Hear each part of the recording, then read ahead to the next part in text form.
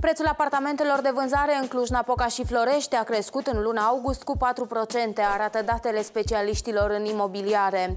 În Cluj-Napoca, un metru pătrat este acum mai scump în medie cu 62 de euro, iar în Florești cu 29 de euro. Sunt câteva cartiere în Cluj-Napoca unde scumpirile se resimt mai tare.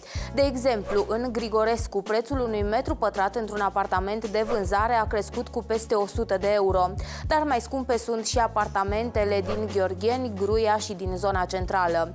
Asta înseamnă că acum cu greu se mai găsesc apartamente de vânzare cu prețul per metru pătrat mai mic de 1500 de euro. Haideți să vedem care sunt cauzele care au dus la această majorare de prețuri.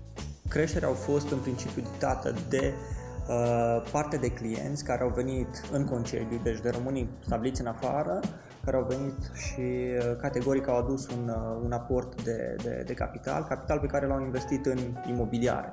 Cam ăsta ar fi principalul, uh, principalul motor care a generat, care a generat creșterea de, de, de prețuri. Trendul ăsta mă aștept cumva să se mențină și în următoarele, în următoarele luni.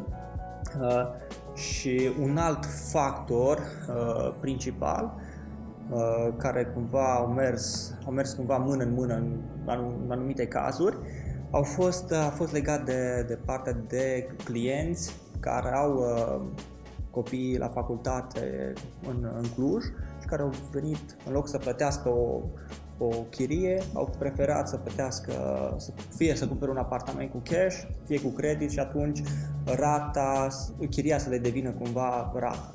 Cumpărătorii aleg apartamente situate în apropierea centrelor comerciale, în zona facultăților și școlilor, dar e importantă și proximitatea față de stațiile de transport public. În Cluj-Napoca, prețurile apartamentelor au explodat în apropierea molului din cartierul Gheorgheni, în cartierul Zorilor, dar și în zonele de unde se ajunge facil în centru, iar prețurile de vânzare ale imobilelor vor continua să crească și în săptămânile următoare, spun specialiștii. Perioada de stagnare de regulă este undeva spre sfârșitul anului, când deja oamenii și-au cumva Uh, gândul de la, de la partea de achiziție și se îndreaptă spre partea de vacanțe, sărbători și așa mai departe.